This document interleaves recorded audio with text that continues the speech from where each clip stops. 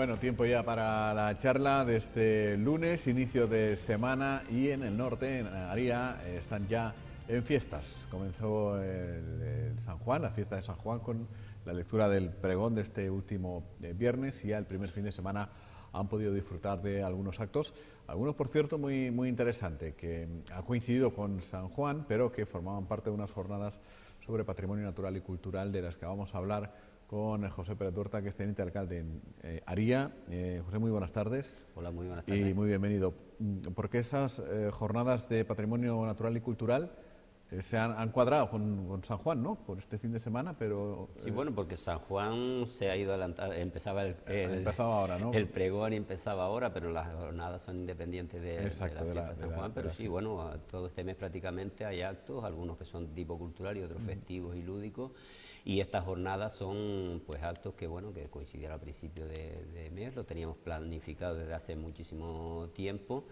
Eh, yo creo que unas jornadas que son tremendamente importantes, no son unas jornadas que lo organizamos, aunque partió de, la Concejalía de Medio Ambiente y, Educación y Cultura del Ayuntamiento, pero en la que hemos implicado de manera activa tanto al, Cabildo de Lanzarote, a la Consejería también de Patrimonio y Educación del Cabildo, como a la Dirección General de Menor y Infancia del Gobierno de Canarias. Se trata de recuperar un elemento de, nuestro patrimonio importantísimo y que había desaparecido ya en la isla de Lanzarote. Y bueno, ahí se enmarca esa, esas jornadas con un éxito extraordinario. Y a partir de ahora, porque estamos hablando de, en fin, eh, les han llamado Juegos de Inteligencia Canarios. Sí, hay un estudio que lo ha hecho un señor de, de Tenerife, bueno, él procede de, del Hierro, porque vive en Tenerife, que se llama José Manuel Espinel, ha hecho unas publicaciones y lleva como 20 o 20 y tantos años, en torno a 28 años trabajando e investigando sobre este tipo de juegos de inteligencia. Y bueno, como consecuencia de ello, ahí eh, se empieza a investigar, hay grabados, hay algunos que son ancestrales, son algunos milenarios, otros que son que se jugaban hasta la década de los 60, yo recuerdo haber jugado en algunos de pequeño, y algunos que se siguen jugando ahora, por eso trajimos algunas personas mayores que son maestros de este tipo de juego, eh, de Gran Canaria, de Tenerife, eh, y han venido oh, también a enseñarlos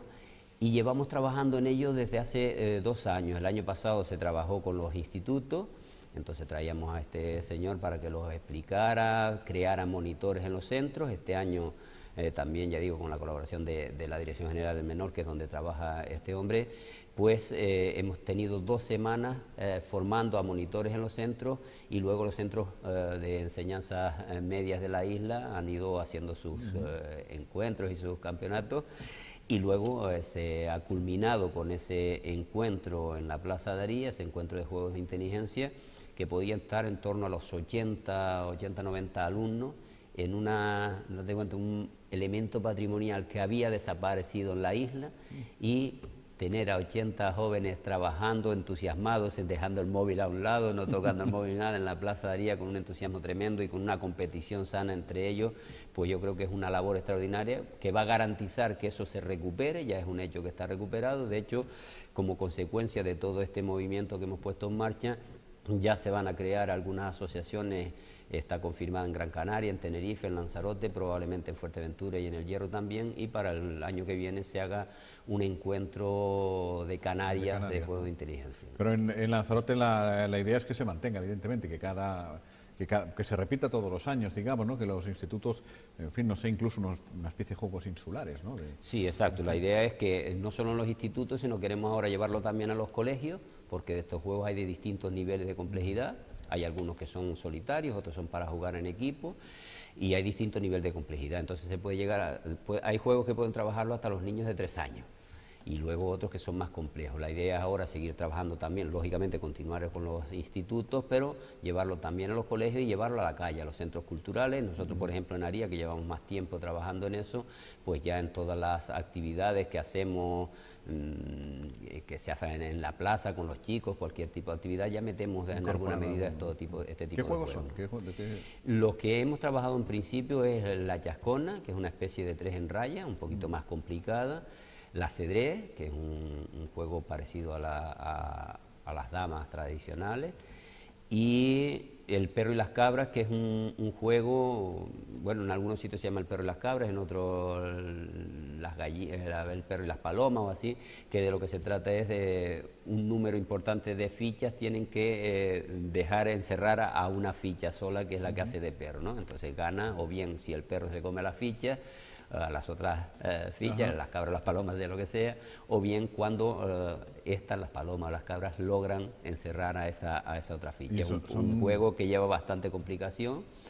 y que, bueno, que los chicos lo han aprendido con una profesionalidad tremenda y que estamos, hemos visto allí que estos maestros que han venido, a algunos, eh, dice, mira, la primera vez eh, le gané con facilidad a los niños, dice, la segunda vez eh, le expliqué un par de trucos y tal, dice, la tercera vez le gané, pero me costó mucho. Apurado. Claro, estamos hablando de juegos mm, ancestrales y, en, una, que surgieron en épocas donde tampoco la comunicación era demasiado fluida, o sea, mm, que saltaban pues de cuando uno lo conocía y venía y lo explicaba. son ¿Presentan variedades así, eh, depende de las islas? Eh, el nombre seguro, ¿no? Sí, en el nombre, incluso en algunas pequeñas diferencias a la hora de jugar cada, cada juego. Tengamos en cuenta que estos juegos son juegos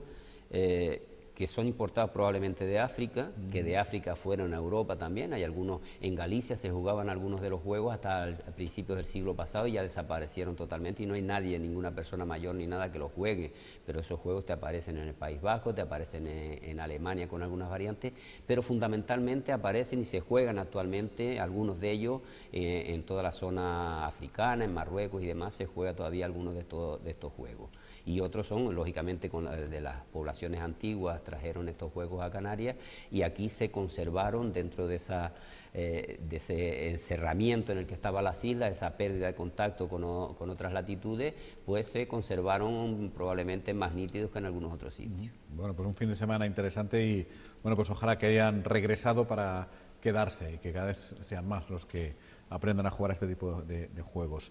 Y mm, se solapó una cosa con la otra, ya están en fiestas, ahora sí, el pregón eh, lo pronunció Tomás Armas Sicilia, ¿no? El, sí, sí, sí, el viernes por la tarde, en fin, un hombre muy conocido y además en distintos eh, eh, ambientes, en distintas facetas. Sí, claro, es que Tomás es una persona que desde joven, una persona de Aría, lógicamente, y que desde joven ha estado implicado en todo lo que tiene que ver con cultura, fundamentalmente en teatro, pero también en otras muchas actividades, por lo tanto es un conocedor de, toda la trayectoria cultural de Aría y de otros sitios también, ha trabajado como técnico, acaba de jubilarse y ha trabajado como técnico de cultura en el Ayuntamiento de Teguise durante muchísimos años.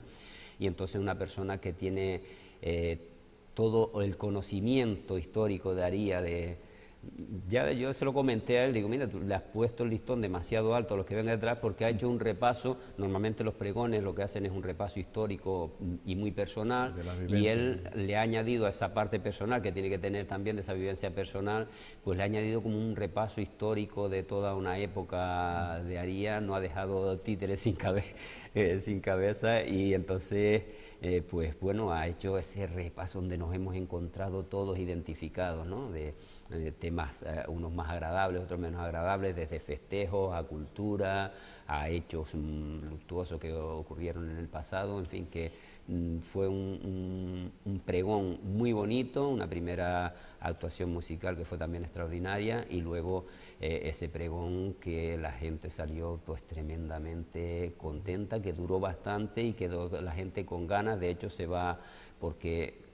al ir preparando el pregón, eh, lo abrió para que la gente le aportara cosas, le aportara imágenes del pasado y poder eh, ilustrar ese pregón. Y le llegó tan, tal cantidad, de material que ahora se, nos hemos visto en la obligación de hacer un montaje de ese material y ponerlo en una, bueno, en una pantalla digamos, durante toda la fiesta se irá proyectando esas imágenes para que la gente se pueda acercar e ir viendo esas imágenes, ir reconociéndose o reconociendo a, personajes de nuestro pasado. Bueno, unas fiestas que han comenzado ya y que se prolongan hasta el 24, ¿no? que es ya fin, el día de San Juan, eh, con eh, la entrega de, premios, eh, como suele ser habitual, se reconoce siempre a destacados del municipio. Este año a Manuel Perdomo y a Lionel Morales. Sí, sí, sí, sí. hemos, hemos, roto algunas tradiciones no porque sí, sino porque eran de cajón. En principio, los pregones últimamente se hacían siempre la víspera de San Juan, o sea, el último día de la fiesta, lo cual no es de recibo, ¿no? La, la, finalidad de un pregón es pregonar el comienzo de una fiesta, ¿no? Entonces hemos hecho eso, ha sido con gran aceptación lo cual nos quedamos muy contentos. Y después también otra cosa es que tradicionalmente parece que se, premiaba o se valoraba a las personas que estaban a punto de desaparecer, que eran muy mayores y tal, y era como un reconocimiento.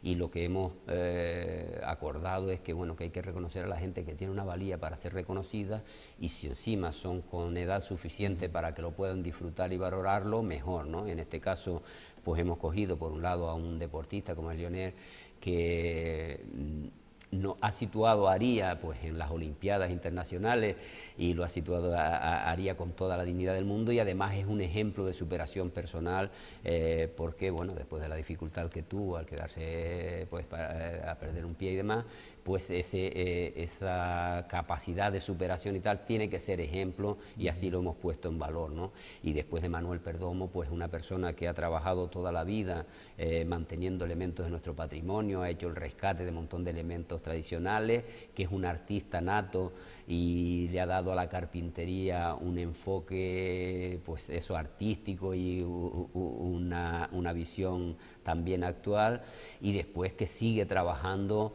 aparte que es una persona que se ha abierto siempre a colaborar, esté quien esté gobernando las instituciones y tal, siempre a colaborar con exposiciones, con lo que haya que, echar una mano para preparar y demás, y ahora que está trabajando también todavía en la recuperación de, de oficios tradicionales, por lo tanto una persona con un valor tremendo desde el punto de vista personal, humano y también desde el punto de vista de de una persona que lucha por mantener nuestro patrimonio y nuestra identidad.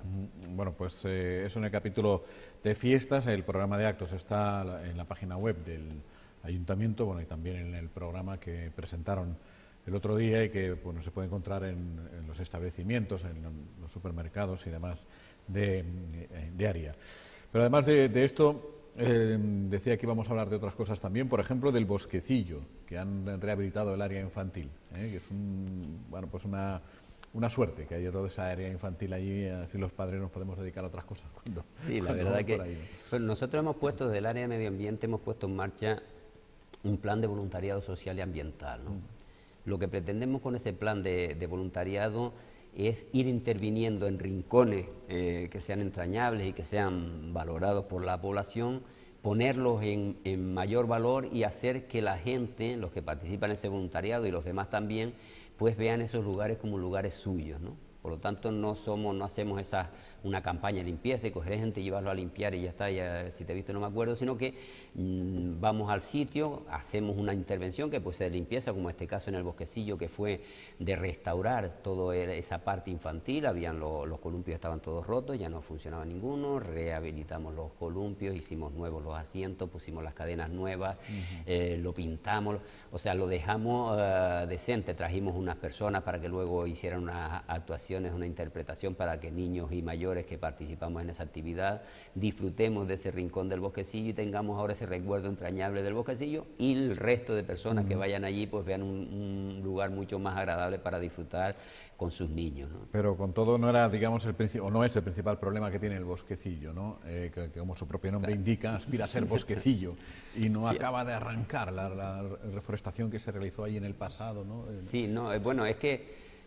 el bosquecillo en realidad, ese nombre se lo pusieron también, creo que hasta Tomás que intervino algo en ese bosque, ¿no? En el momento ese movimiento social y vecinal que había ahí de, de, los jóvenes del municipio involucrados, empezaron a llamarlo bosquecillo, pero realmente nunca ha habido un bosquecillo tal, ha sido unas acacias que han estado plantadas ahí, que tienen un tamaño determinado,